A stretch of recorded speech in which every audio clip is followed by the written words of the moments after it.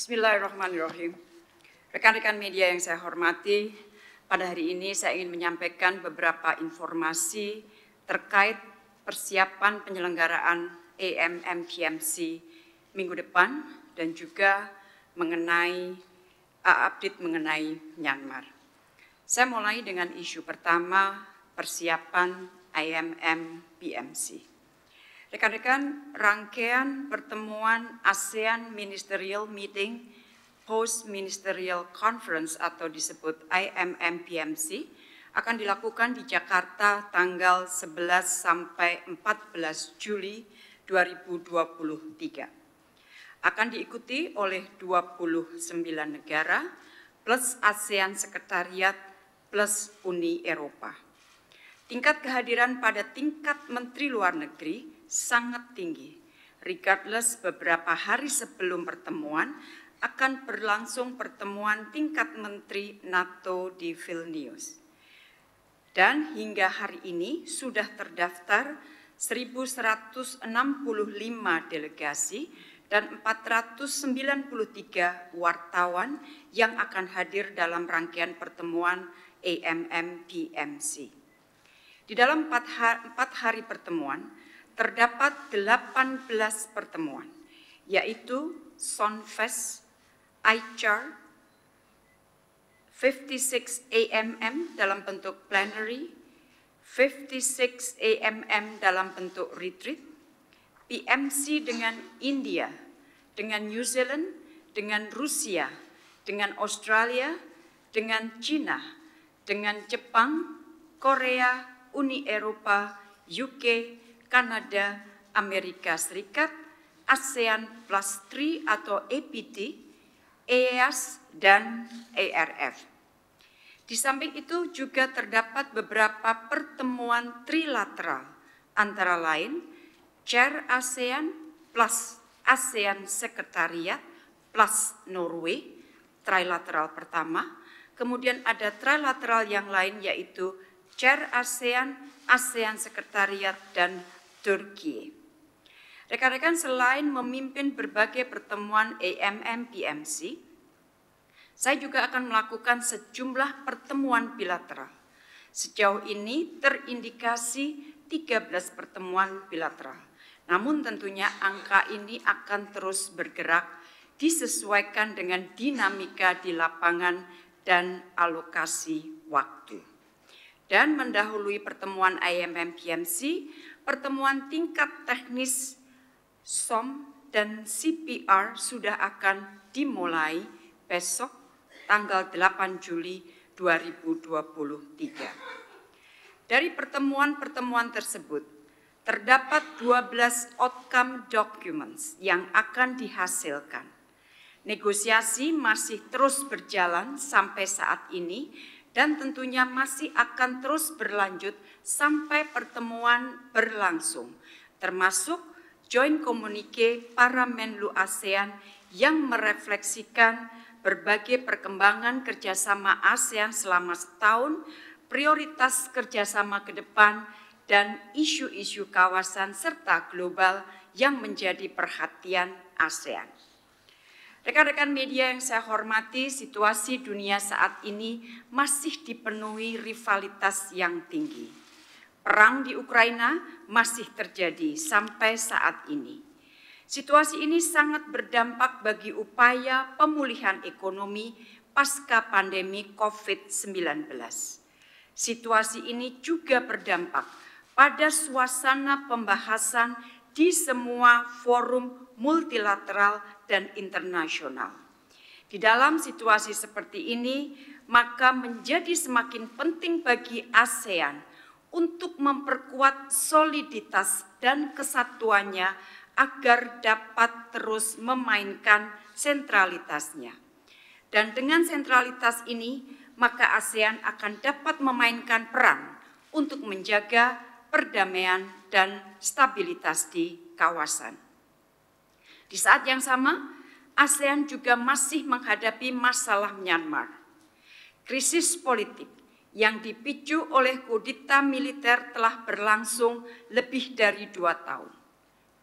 Selama pendekatan yang diambil oleh para pihak adalah pendekatan zero sum, maka perdamaian yang durable tidak akan terjadi. Selama spirit perdamaian tidak dimiliki oleh para pihak, maka perdamaian yang durable tidak akan terjadi. EMM-PMC merupakan salah satu mekanisme ASEAN yang memiliki peran penting sebagai convening power, di mana culture of communication, culture of dialogue terus berusaha dijalankan berdasarkan prinsip-prinsip piagam PBB, piagam ASEAN, dan hukum internasional. Dalam kaitan ini dan untuk menjaga stabilitas perdamaian dan ketahanan ekonomi kawasan, beberapa hal yang akan dikedepankan dalam pertemuan EM, EMMPMC kali ini antara lain. Pertama, memperkuat penegakan prinsip-prinsip di ASEAN Charter dan berbagai tata perilaku seperti TEC, SONFES, maupun AOIP guna terciptanya perdamaian, keamanan, stabilitas, dan kemakmuran kawasan. Kedua, terus memperkuat confidence building measures atau CBM sambil mulai memperkuat preventive diplomacy. Dalam kaitan ini, saya akan mendorong agar mekanisme China, Japan, Korea dapat direvitalisasi kembali. Mekanisme ini sangat penting bagi stabilitas dan kemakmuran kawasan. Ketiga, mendorong Nuclear Weapon States atau NWS untuk aksesi protokol Traktat Sonfes. Keempat, menyelesaikan guidelines untuk mempercepat penyelesaian negosiasi Code of Conduct di Laut Cina Selatan. Kelima, menyelesaikan pembentukan ASEAN Maritime Outlook. Rekan-rekan, Outlook ini akan menjadi dokumen yang sangat strategis untuk memperkuat sinergi dan menghindari duplikasi kerjasama maritim yang selama ini dilakukan oleh 12 badan sektoral ASEAN dan sebagai rujukan negara mitra dalam kerjasama maritim dengan ASEAN. Keenam, membahas kerjasama konkret dalam memperkuat ketahanan pangan, arsitektur kesehatan kawasan, penguatan kerjasama maritim, dan transisi energi termasuk ekosistem kendaraan listrik. Hasil pembahasan dari berbagai isu ini akan disampaikan ke KTT ke-43 bulan September mendatang. Ketujuh, untuk pertama kalinya, implementasi ASEAN Outlook on the Indo-Pacific diarus utamakan dalam pembicaraan dengan negara mitra dengan fokus pada pembahasan kerjasama konkret dan sebagaimana teman-teman ketahui, prinsip utama dalam AOIP adalah inklusivitas dan membangun kerjasama konkret. Oleh karena itu, ASEAN siap melakukan kerjasama dengan mitra mana pun dalam rangka implementasi AOIP. Dan ini tercermin dalam berbagai dokumen ASEAN dengan mitra baik pada tingkat politis maupun tingkat teknis seperti pembuatan kerjasama yang konkret. Dan dalam konteks inilah pada bulan September nanti akan dilakukan ASEAN Indo-Pacific Infrastructure Forum dalam mengimplementasikan AOIP. Kedelapan, untuk pertama kalinya juga, ASEAN mengengage IORA dan PIF sebagai bagian dari pelaksanaan AOIP untuk menjaga stabilitas dan perdamaian kawasan.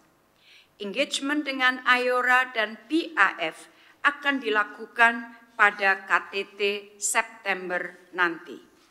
Roadmap MOU kerjasama sekretariat antara ASEAN Sekretariat dengan PAF Sekretariat terus dimatangkan.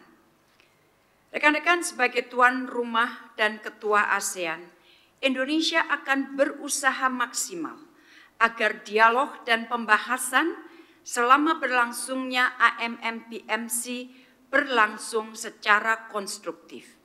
Indonesia siap menjembatani semua perbedaan yang muncul dan kita siap dan me, me, me, mencoba agar pembahasan dapat menghasilkan kerjasama konkret yang akan dapat dibawa ke KTT 43 bulan, bulan September nanti. Tentunya dukungan negara anggota ASEAN dan negara mitra ASEAN sangat diharapkan. Rekan-rekan media yang saya hormati mengenai Myanmar. Saya ingin menyampaikan update langkah-langkah yang telah dilakukan Indonesia sebagai ketua ASEAN dalam menangani isu Myanmar.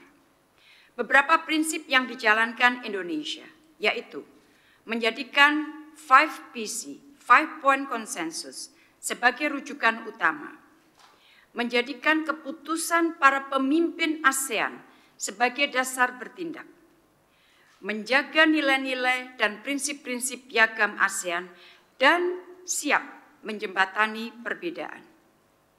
Tiga hal utama yang ingin saya sampaikan. Pertama, mengenai engagement.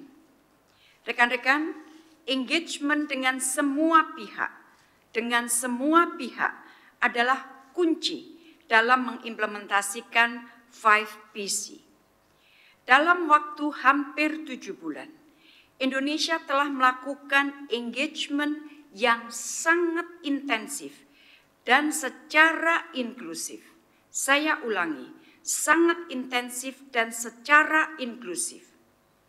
110 engagement telah dilakukan, baik berupa pertemuan in person, virtual, maupun melalui pembicaraan per telepon. Termasuk engagement saya secara in person, baik dengan Menteri Luar Negeri NUG maupun Menteri Luar Negeri SEC dalam beberapa kali. Dan engagement kantor Special Envoy baik dengan Ethnic Resistant Organizations, EROs, wakil-wakil partai politik, dan CSOs, serta pihak-pihak lain di Myanmar. Engagement yang intensif dan inklusif penting untuk dilakukan dan menjadi kunci untuk membangun trust, mendengarkan posisi masing-masing pihak, mencoba membangun jembatan untuk mempersempit perbedaan, mendorong deeskalasi kekerasan dan renouncing the use of force, mendorong dialog inklusif, dan mengajak semua pihak untuk membantu dan mendukung pemberian bantuan kemanusiaan dengan prinsip no one left behind. Engagement bukan merupakan tujuan, namun merupakan alat untuk mencapai tujuan, yaitu dialog inklusif untuk mencapai perdamaian yang durable. Oleh karena itu, engagement ini merupakan building block yang pertama. Saat ini sudah waktunya building block kedua mulai dibangun, yaitu mendorong dialog di antara para pihak menuju dialog inklusif nasional.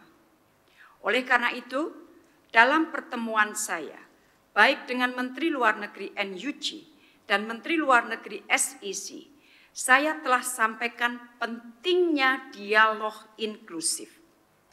Dialog inklusif merupakan satu-satunya way forward. Dialog inklusif merupakan satu-satunya way forward jika para pihak menginginkan perdamaian yang durable di Myanmar. Semua pihak luar harus mendorong dilakukannya dialog inklusif di Myanmar. Masih terkait dengan engagement selain dengan para pihak di Myanmar, Indonesia juga melakukan engagement dengan negara tetangga Myanmar dan key players lainnya dengan pesan utama agar mereka mendukung implementasi five point konsensus. Kedua mengenai bantuan kemanusiaan. Jadi yang pertama mengenai engagement, kedua mengenai bantuan kemanusiaan. Terdapat langkah maju untuk bantuan kemanusiaan. Akses kepada stakeholders diberikan kepada AHA Center. AHA Center telah berhasil menyelesaikan Joint Needs Assessment. AHA Center sudah melakukan delivery tahap awal pada Mei 2023. Saat ini, AHA Center sedang mempersiapkan penyaluran bantuan kepada 400 rumah tangga atau sekitar 1.450 orang IDPs. Wilayah Sagaing dan Makewe akan menjadi salah satu prioritas selanjutnya. Selain itu, AHA Center juga telah bertindak cepat membantu korban Moka Cyclone senilai US dollar 1,6 juta. Secara bilateral, Indonesia telah menyampaikan bantuannya pada 26 Juni 2023 sebanyak 45 ton dengan nilai lebih dari 0,5 juta US dollar setengah juta US dollar berupa makanan siap saji, terpal, tenda, peralatan pertukangan, generator, selimut, serta air minum yang diperlukan para korban siklon Moka khususnya di wilayah Rakhine State, Myanmar. Di dalam berbagai komunikasi, Indonesia juga mendengar adanya informasi, adanya kebutuhan vaksin terutama untuk anak-anak. Indonesia tengah meminta data mengenai kebutuhan vaksin dan siap untuk berkontribusi. Semua pihak harus berkomitmen untuk membantu penyaluran bantuan kemanusiaan dengan prinsip no one left behind dan tidak mempolitisir bantuan kemanusiaan kepentingan masyarakat harus menjadi prioritas semua pihak. Yang ketiga mengenai tindakan kekerasan. ASEAN masih sangat prihatin dengan masih meningkatnya penggunaan kekerasan di Myanmar yang mengakibatkan korban sipil dan hancurnya fasilitas umum. Hal ini harus segera, saya ulangi, harus segera dihentikan. Di semua engagement yang dilakukan Indonesia dengan semua pihak di Myanmar, dorongan untuk menghentikan tindakan kekerasan ini terus disampaikan dan menjadi prioritas. Tanpa penghentian kekerasan, tidak akan ada situasi kondusif.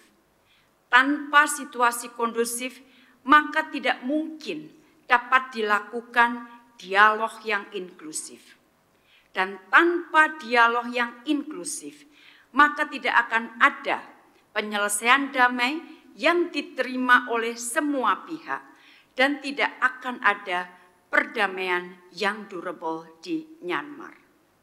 Rekan-rekan, saya ingin ulangi bahwa sebuah konflik hanya dapat diselesaikan jika para pihak memiliki semangat dan komitmen sungguh-sungguh untuk mewujudkan perdamaian. Perdamaian yang durable tidak akan dapat dicapai jika pendekatan yang diambil adalah zero sum. Mari kita terus dorong semangat dialog dan damai para pihak di Myanmar. Dan isu mengenai Myanmar ini tentunya akan dibahas kembali dalam pertemuan retreat para menteri luar negeri ASEAN. Rekan-rekan yang saya hormati sebagai penutup, EMMPMC adalah bagian penting dari mekanisme ASEAN untuk menjadikan ASEAN Matters dan menjadikan Asia Tenggara sebagai epicentrum of growth. Demikian beberapa update persiapan pertemuan AMM PMC mendatang yang dapat saya sampaikan per hari ini. Demikian teman-teman, terima kasih.